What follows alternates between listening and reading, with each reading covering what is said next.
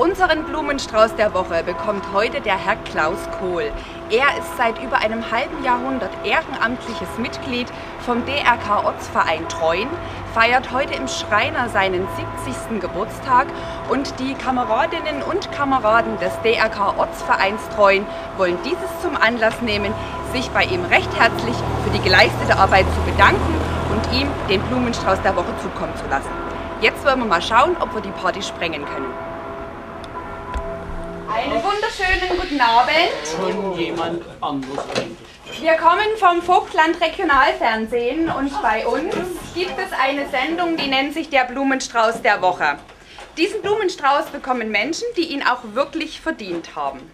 Wir haben einen Brief bekommen von dem DRK Ortsverein Treuen, dass der Herr Klaus Kohl heute 70 Jahre alt wird und für seine ehrenamtliche Arbeit einen Blumenstrauß der Woche verdient hat. Kommen Sie zu mir, Herr Kohl.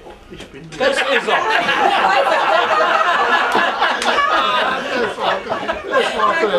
Warum hast du die Schau gestohlen?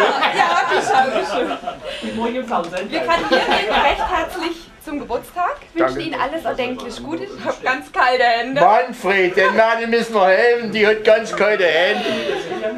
Ich möchte Ihnen gerne den Blumenstrauß von Ihren Kameradinnen und Kameraden übergeben und es gibt noch einen Brief, den ich gerne noch vorlesen möchte. Zum 70. Geburtstag von Klaus Kohl. Klaus Kohl ist seit 1957 Mitglied im Deutschen Roten Kreuz. Einige Jahre war er hauptamtlich im DRK Kreisvorstand Auerbach tätig.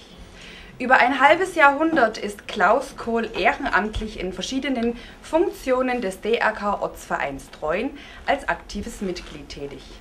Als Vorsitzender des DRK Ortsvereins Treuen leitete er viele Jahre die Geschicke. Unter seiner Leitung war der Verein immer ein verlässlicher Partner für die Stadt Treuen. Wenn Sanitäter bei Festen, Sportveranstaltungen und anderen Höhepunkten im kulturellen Leben der Stadt notwendig waren, wurden sie unter seiner Leitung abgesichert. Der Name Klaus Kohl ist in seiner Heimatstadt fast mit dem Deutschen Roten Kreuz verwurzelt. Aus diesen vielen Gründen erhielt er auch den Bürgerpreis der Stadt Treuen. Wir, die Kameraden und Kameradinnen unseres Ortsvereins, möchten hiermit unserem Klaus ganz herzlich zu seinem 70. Geburtstag gratulieren und ihm alles erdenklich Gute wünschen. Ich möchte mich bedanken. Bitte schön.